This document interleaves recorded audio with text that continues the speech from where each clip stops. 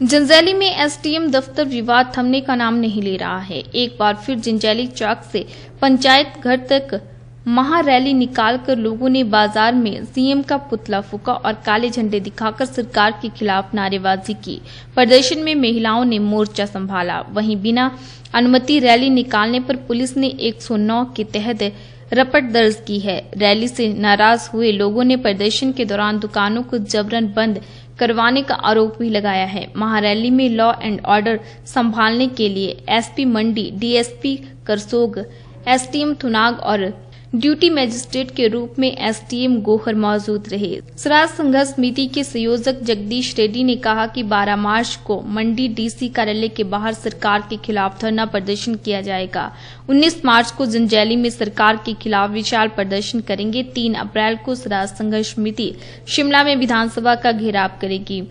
Rally को स्वराज संघर्ष समिति के अध्यक्ष नरेश रेड्डी, संयोजक जगदीश रेड्डी, कांग्रेस नेता चेतराम और महेंद्र राणा ने संबोधित किया। प्रदर्शन में सीपीआईएम के नेताओं के साथ कांग्रेस भी मौजूद रही।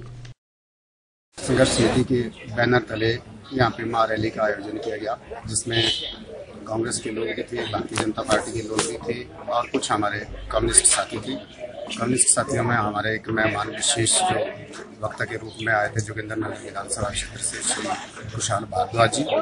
इस रैली को सफल बनाने के लिए यहाँ के स्थानीय लोगों ने व्यापारियों ने अपनी दुकानें बंद करके हमारा अच्छा साथ दिया और साथ में ये निर्णय लिया कि हम आगामी सोमवार को 12 तारीख को जिला बीस मंडी के कार्यालय के बाहर धरना प्रदर्शन करेंगे और उसके बाद 19 तारीख को यहाँ पे बहुत बड़ी महारैली करेंगे, जिसमें प्रदेश स्तर के नेता, कम्युनिस्ट नेता जो है हमारे राकेश सिंघा जी और कांग्रेस पार्टी की तरफ़ से प्रदेश अध्यक्ष ठाकुर सुखविंदर सिंह सुखू जी या राजा वीरभद्र सिंह जी में से कोई एक नेता इसमें शरीक होंगे।